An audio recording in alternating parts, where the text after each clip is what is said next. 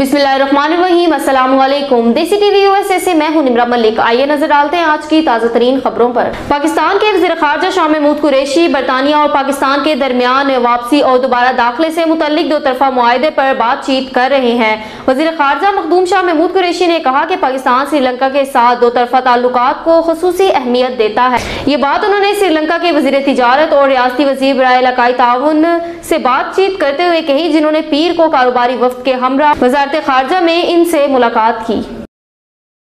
री admission agreement के बारे में कैबिनेट ने जो एक स्पेशल कमेटी कॉन्स्टिट्यूट की थी आज उसका दूसरा इजलास था आ, उस पर हम सब आए तबादला ख्याल हुआ। सब महकमों ने अपना इनपुट दिया और हमने अपनी सिफारिशात मुरतब कर ली हैं और इंशाल्लाह काबीना होगी वाले क्या नवाज़ शरीफ को लाना मुमकिन है सर मौजूदा सूरत हाल में?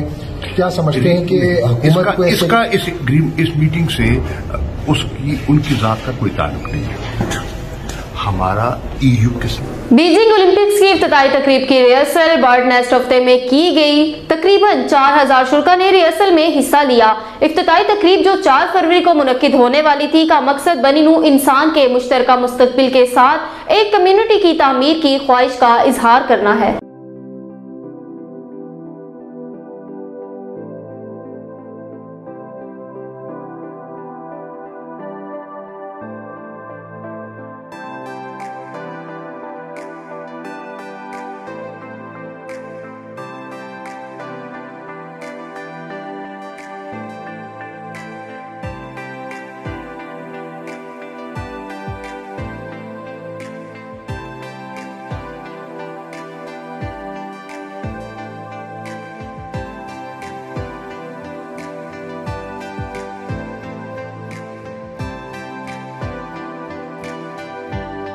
हाइडलबर्ग यूनिवर्सिटी में फायरिंग हमलावर समेत दो अफराद हलाक। जनूबी जर्मन शहर हाइडलबर्ग की यूनिवर्सिटी के एक लेक्चर हॉल में फायरिंग के एक ऐसे वाक़े में हमलावर समेत दो अफराद हलाक और तीन जख्मी हो गए। हमलावर ने हॉल में अपने इर्द गिर्द अंधाधुंध फायरिंग करने के बाद खुद को गोली मार ली थी।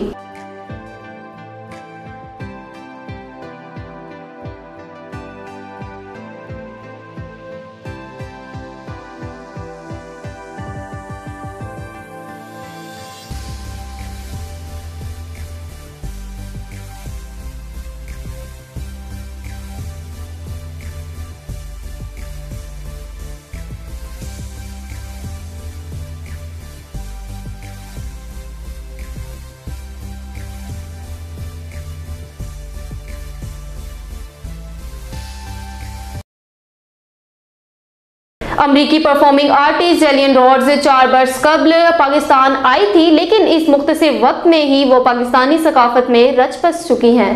का वो सूफिज़म के बारे में तो मैंने कुछ पढ़ा इसके बारे में उन लोगों के साथ काफ़ी बात की। वैसे I think as a culture and as a philosophy and the music and the dance that go with it मतलब कि वो जो मूवमेंट है, वो वो भी खुश है। और मूवमेंट ये करना है तो आपको भी खुश होता है। तो आई डोंट नो वाई मुझे मुझे नहीं पता है क्यों, लेकिन वो बांग्रा शायद वो ढोल के साथ, शायद रिदम के साथ के साथ जाते हैं।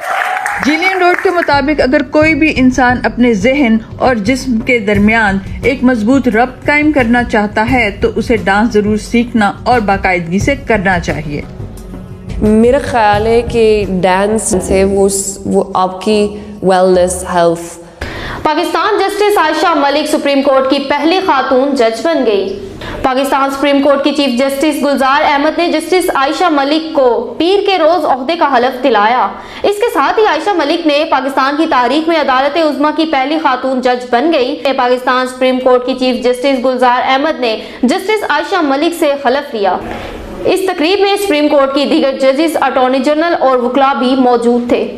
व्हाइट हाउस की प्रेस सेक्रेटरी जनसैकी रूस यूक्राइन की सरहद पर सूरत हाल पर तबादला ख्याल करने के लिए यूरोपीय रहनुमाओं के साथ सदर बाइडन की महफूज वीडियो कॉल से कबल पीर की ब्रीफिंग दे रही हैं to coordinate and monitor progress across the entire federal government. It is comprised of 10 cabinet members and the heads of seven independent agency. Uh, he'll note uh, today that the lack of competition costs uh, average American households about $5,000 a year, which is a pretty significant sum uh, when you think about people's budgets.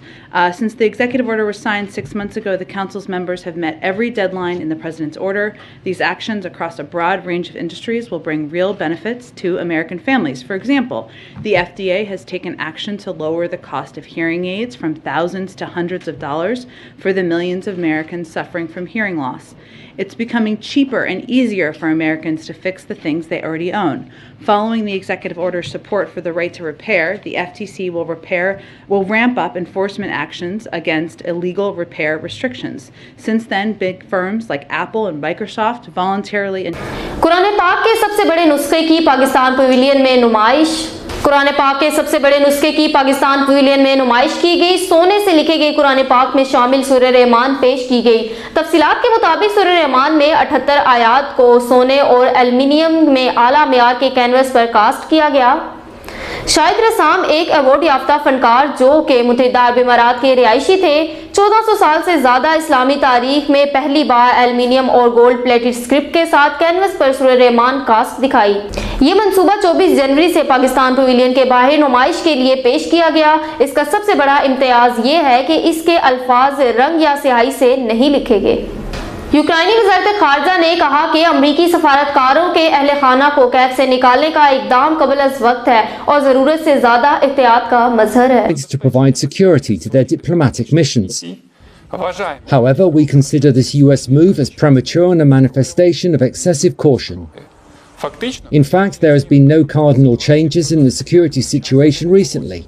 The threat of new waves of Russian aggression has remained constant since 2014, and the buildup of Russian troops near the state border began in April of last year.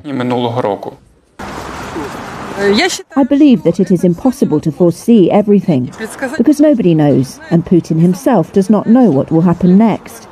But the fact that we get international aid, including military aid, I think this is the good thing and most needed.